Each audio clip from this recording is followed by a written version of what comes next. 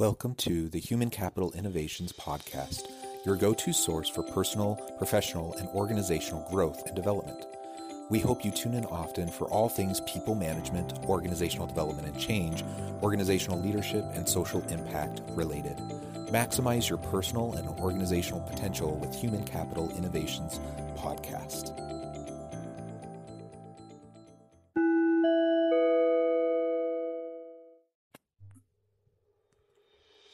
Welcome to the Human Capital Innovations Podcast.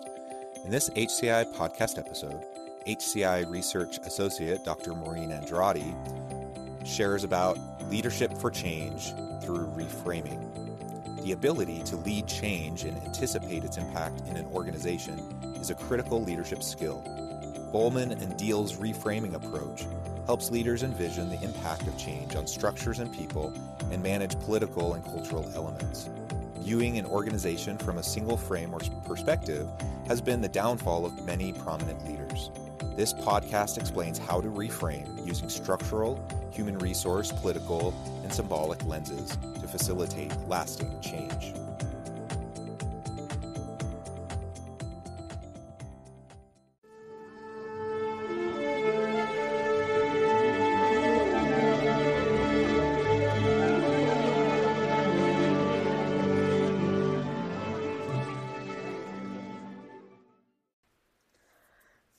When I was in my doctoral program at USC, the University of Southern California, I took a class from Terry Deal. Dr. Deal is a well known leadership consultant who's taught courses at a number of universities and is now retired from USC. He is perhaps best known for his book, co authored with Lee Bolman, called Reframing Organizations now in its sixth edition. Much of what a leader does is related to change, and it's also one of the most challenging aspects of being a leader. If you look at job postings for executive positions, they typically include something about vision, innovation, change, and strategy.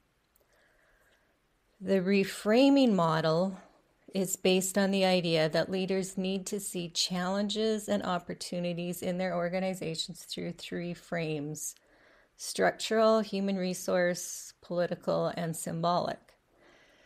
By doing this, they can envision how a change will impact various aspects of an organization, such as its structure and people, as well as political and cultural elements.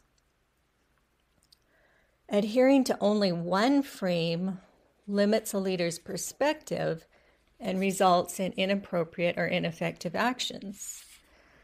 In their book, Bolman and Deal show how executives fail time and time again because they are primarily focused on people or structure or vision while ignoring other critical aspects of their organizations. When you ask people in a job interview about their leadership style or philosophy, you can invariably recognize which frame they are coming from. The tendency of leaders to get stuck in a single frame necessitates making a conscious effort to examine all four frames. It is also wise to seek the perspectives of others who may be more skilled at using a different frame. Each frame offers a different view of an organization and helps guide change. Let's take a look at each frame and the metaphor associated with it. The structural frame is compared to a factory.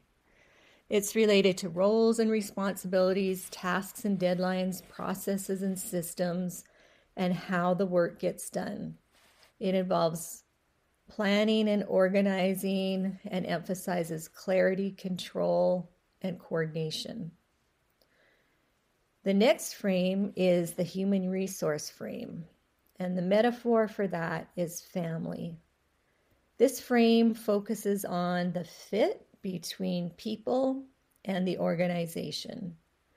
People want meaningful work and want to feel valued, and the organization benefits from their ideas and abilities. So, job satisfaction, skill development, autonomy, and motivational factors are all things to consider with the human resource frame. The third frame is the political frame, and it is associated with the metaphor of a jungle. It involves considering diverse beliefs, personalities, values, and interests of people in an organization. Differences create conflict. Limited resources and competition require making difficult choices. As a result, leaders need to form coalitions, resolve conflict, and consider their power bases. The fourth and final frame is the symbolic frame, and this is associated with creating a sense of purpose, inspiring and influencing, articulating a vision, and using stories, traditions, and myths associated with the organization to create connections and commitment. The leader is seen as a prophet or a visionary who can engage people's hearts and minds. The symbolic frame also involves celebrations, events, and rewards. The metaphor associated with this frame is theater.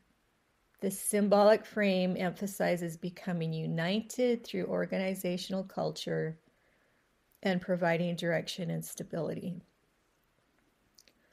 The reframing model provides a broad perspective on an organization rather than specific steps to follow when engaged in change.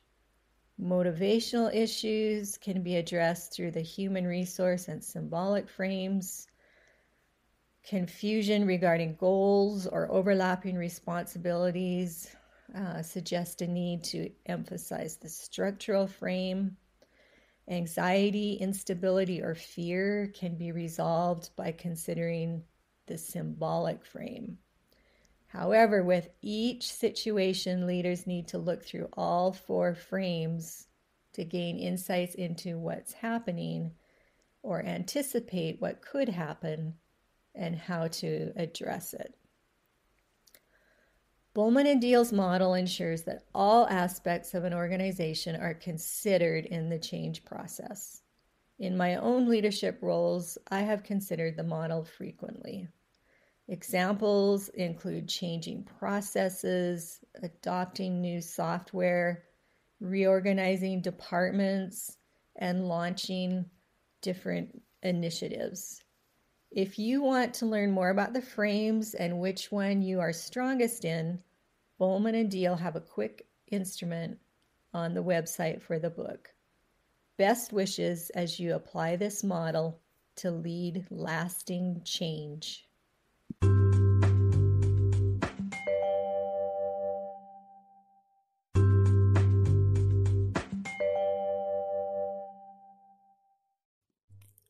Thanks again for joining us for this episode of the Human Capital Innovations Podcast. I hope you stay healthy and safe and that you have a great week.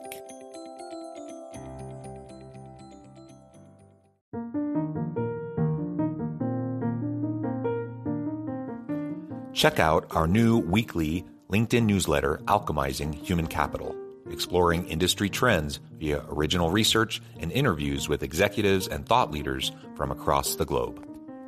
We look forward to having you join us.